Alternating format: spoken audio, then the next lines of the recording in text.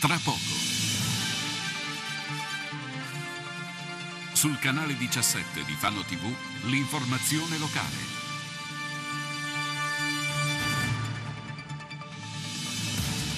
Autodata alle fiamme durante la notte indaga la polizia. Tempi duri per i furbetti della differenziata, 80 le persone multate. Furti nei cimiteri, appello per ritrovare la stella marina di un marinaio. Scuola bus, terza giornata, ridotti i tempi d'attesa per il rientro a casa degli studenti. Ladri scatenati fanno razzia di monoleve nelle imbarcazioni ormeggiate nel porto canale.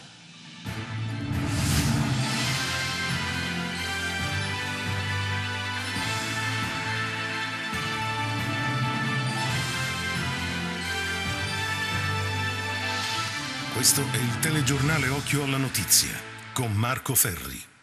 Ben ritrovati. La polizia indaga a Sant'Orso eh, su un eh, misterioso incendio che la notte scorsa ha distrutto completamente un'auto parcheggiata in eh, via Soncino. Vediamo.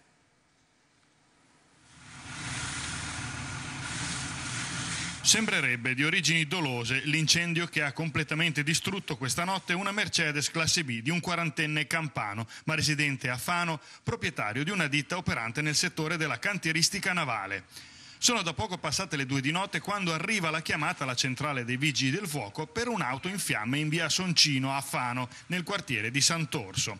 I vigili del fuoco hanno impegnato più di un'ora per domare le fiamme e bonificare l'area interessata dal rogo dell'auto che ha anche coinvolto lievemente altre due vetture parcheggiate nei pressi della Mercedes. Nessun'altra conseguenza per le altre auto in sosta spostate prontamente dai loro proprietari. Sul posto è intervenuta per far luce sull'accaduto anche una volante del commissariato di Fano che sotto la guida del dirigente Stefano Seretti sta effettuando le indagini per chiarire le dinamiche di questo episodio, anche scandagliando scandagliando il vissuto del proprietario che, stando a quanto emerso in queste ore di indagini, non avrebbe ricevuto fino ad oggi alcun tipo di minaccia o di avvertimento.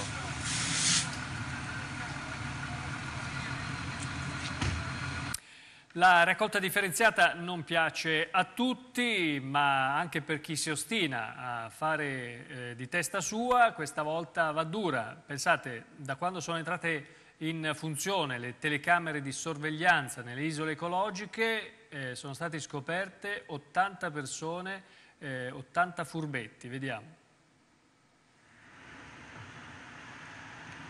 Troppe volte in questi anni siamo stati testimoni impotenti di atti di pura inciviltà e senso civico totalmente assente da parte di alcune persone che, in barba alle più elementari regole del buonsenso e della decenza, hanno trasformato le isole ecologiche, nome che già di per sé dovrebbe ispirare a comportamenti ben più etici, in vere discariche a cielo aperto, lasciando praticamente di tutto, dai mobili usati, ai materassi, ai giocattoli vecchi, ma anche materiali speciali come Eternit o materiale di scarto da ristrutturazioni edili. Questi soggetti, dalla scarsa sensibilità ecologica, sono stati ribattezzati i furbetti del cassonetto, ma ora per loro i tempi si fanno duri, dato che da alcuni mesi il comune di Fano, con l'operazione videocamere, ha messo un serio freno a questo fenomeno. I dati diffusi questa mattina dai protagonisti di questa operazione, ASET, Comune e Polizia Urbana, sono estremamente confortanti. Confrontando questo periodo con lo stesso dell'anno scorso, i conferimenti sbagliati, diciamo così, sono decisamente crollati. Importante risultato è stata l'attivazione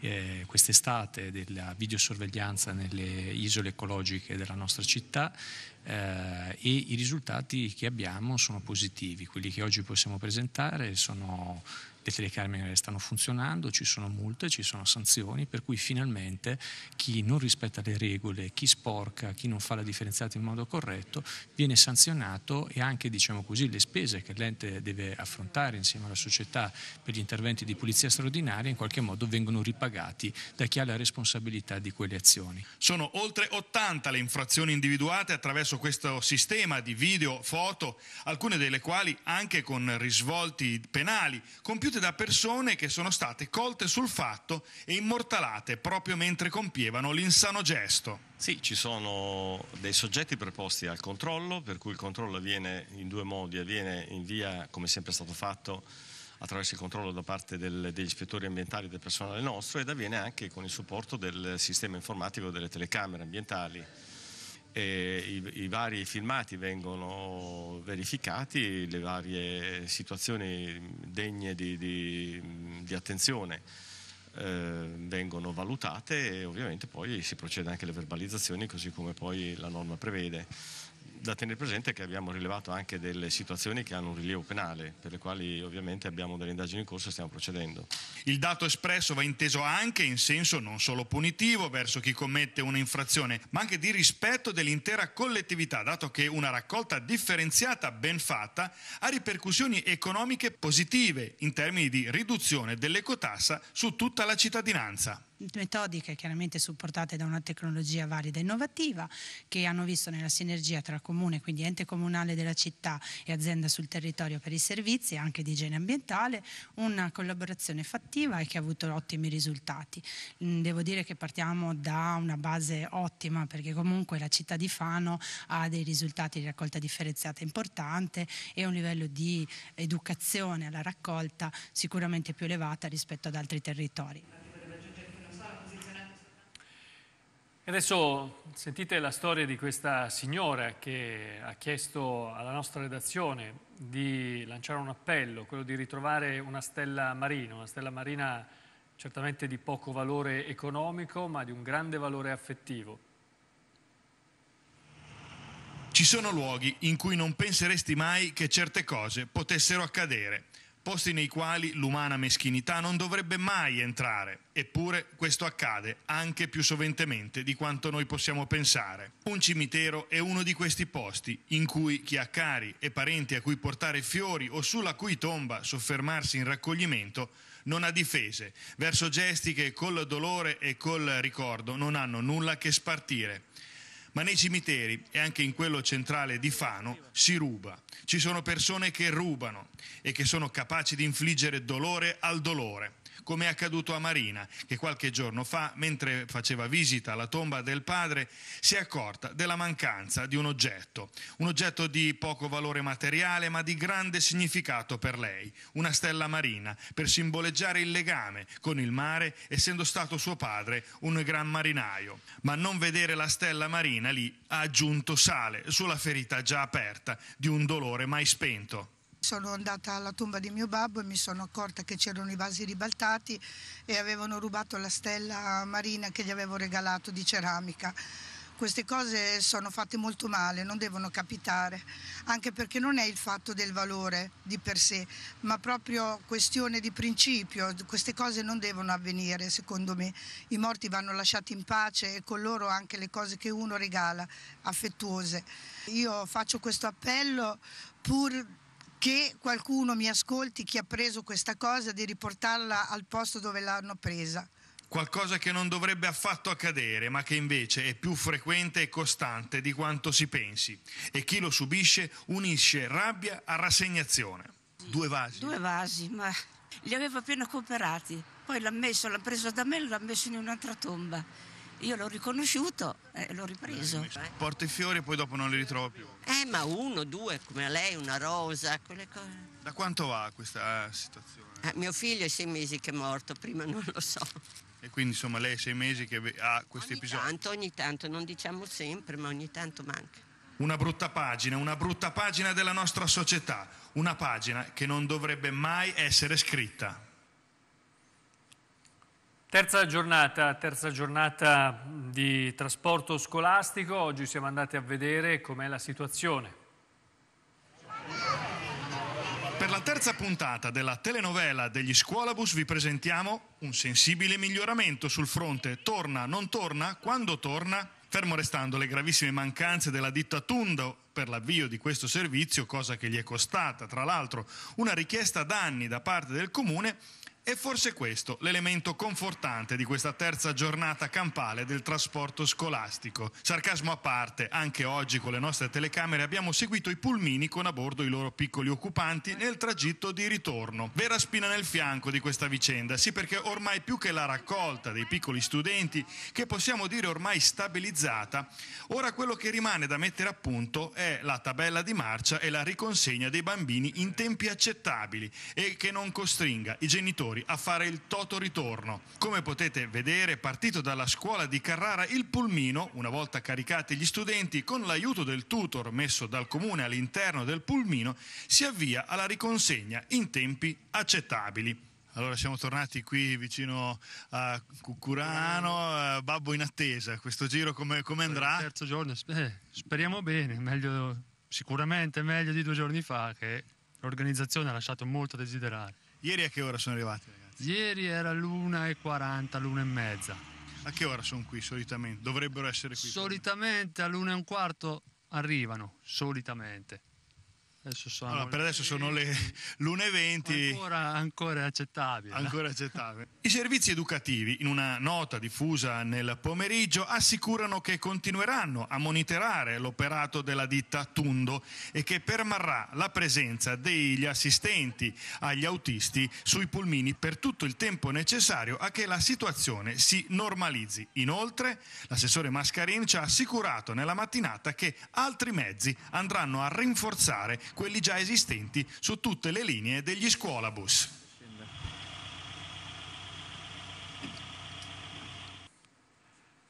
Ladri in azione la notte scorsa al porto canale di eh, Fano, sono, dove sono ormeggiate numerose imbarcazioni. In nove di queste i ladri hanno rubato i comandi di monoleva che permettono di governare il natante e che hanno un costo di circa 800 euro ciascuno. I furti sono stati scoperti solo nel pomeriggio da uno dei proprietari delle barche.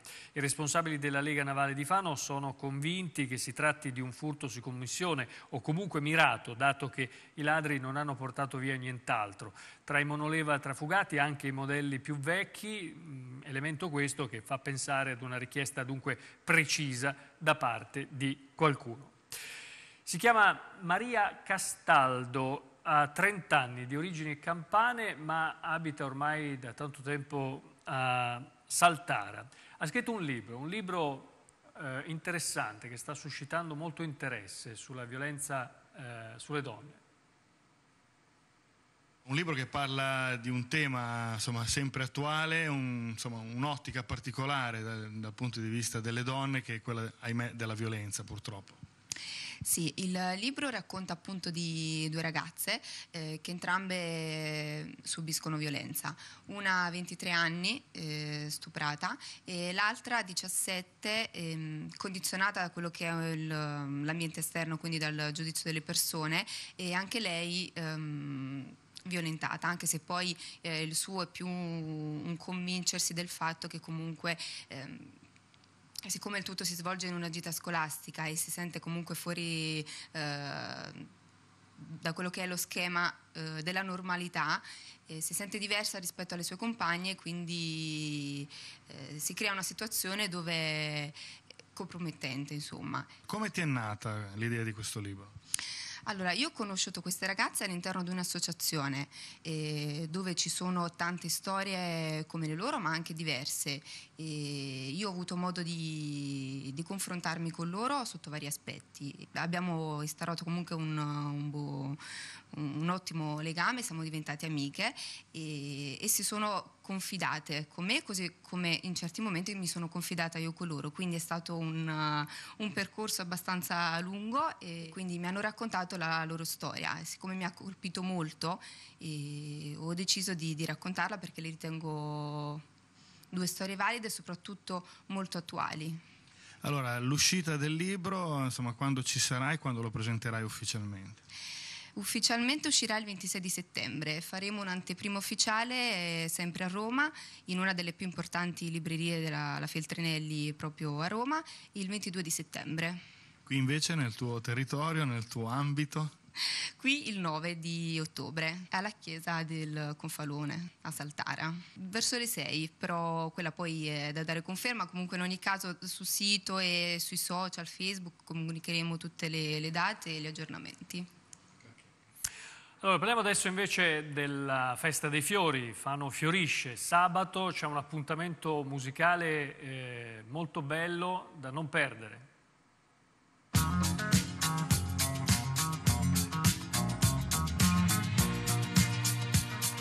Quest'anno la festa dei fiori sta dando una nuova connotazione a tutta la città. Non è solo uno stravolgimento d'immagine, è qualcosa di più profondamente nuovo.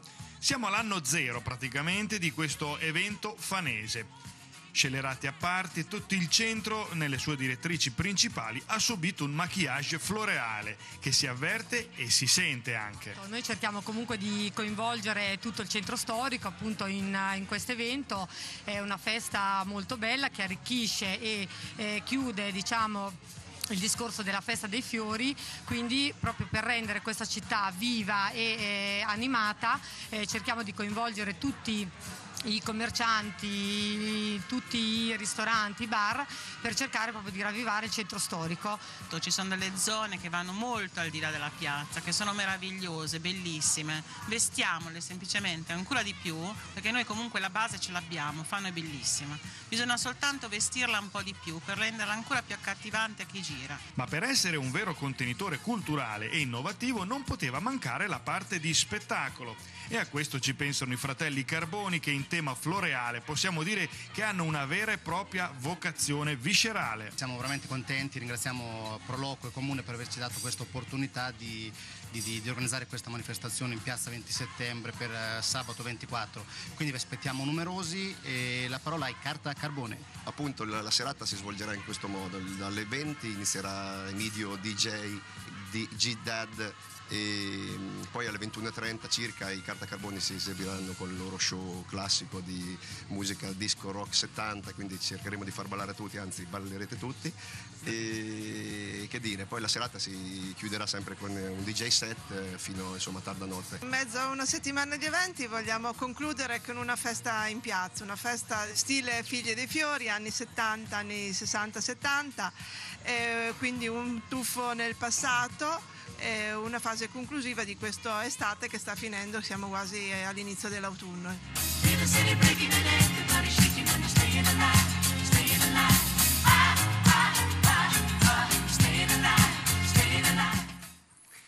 Ok, il telegiornale è finito, eh, Occhio Notizia torna domani, mentre, domani sera alle 20.30, mentre domani mattina come sempre eh, vi aspetto per la rassegna stampa Occhio ai giornali, 7.30 puntuali, canale 17 di Fano TV, arrivederci. you